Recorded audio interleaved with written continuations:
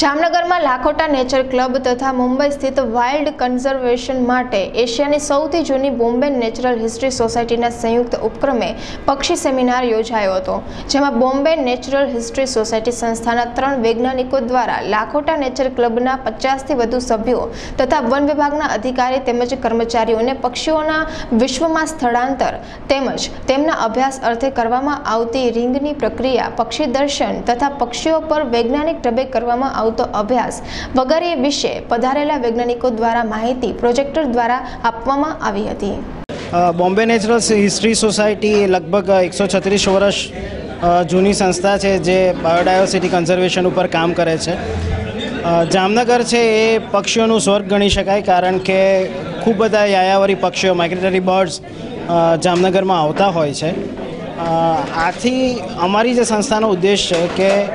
આવા પક્ષીઓનો એક તો ડેટાબેઝ ઊભો થાય. લોકોમાં આ પક્ષીઓ વિશે જાગૃતિ આવે અને એના સંરક્ષણ માટે જે ગવર્મેન્ટ છે એની સાથોસાથ લોકભાગીદારી પણ થાય એવા અમારા પ્રયાસ રહે છે. માટે આ વર્કશોપનો મુખ્ય ઉદ્દેશ એ હતો કે લોકોને બર્ડ માઇગ્રેશન વિશે અને બર્ડ્સ વિશે સેન્સિટાઇઝ કરવાનો. આજના દિવસે કુલ ત્રણ અલગ અલગ અમે પ્રેઝન્ટેશન કર્યા. જેની જેમાં સૌથી પહેલું જે પ્રેઝન્ટેશન હતું, એ બર્ડ માઇગ્રેશન, એટલે કે પક્ષીઓનું સ્થળાંતર કઈ રીતે થાય છે એના ઉપર હતું. ત્યારબાદ જે બીજું પ્રેઝન્ટેશન હતું, એ આવા પક્ષીઓનો જે ડેટા છે, એને સોશિયલ મીડિયામાં અને જુદી જુદી એપ્લિકેશન્સ દ્વારા કઈ રીતે અપલોડ કરવો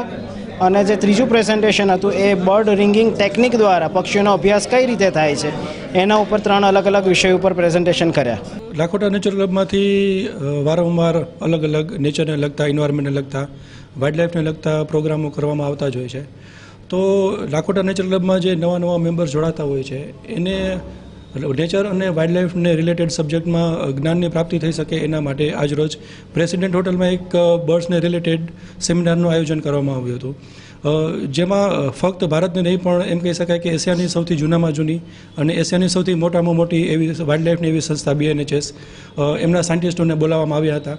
અને તેમની સાથે નોલેજનું આદાન પ્રદાન થઈ શકે, વાતો થઈ શકે અને લાખોટા નેચર ક્લબમાં જે નવા નવા મેમ્બરો જોડાય છે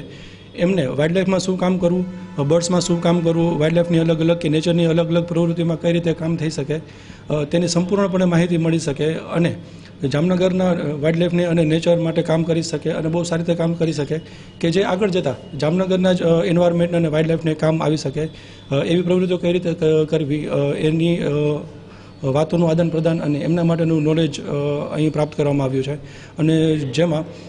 જામનગરની લાખોટા નેચર ક્લબ અને બીએ નેચર્સનો ખૂબ જ સારો ફાળો રહ્યો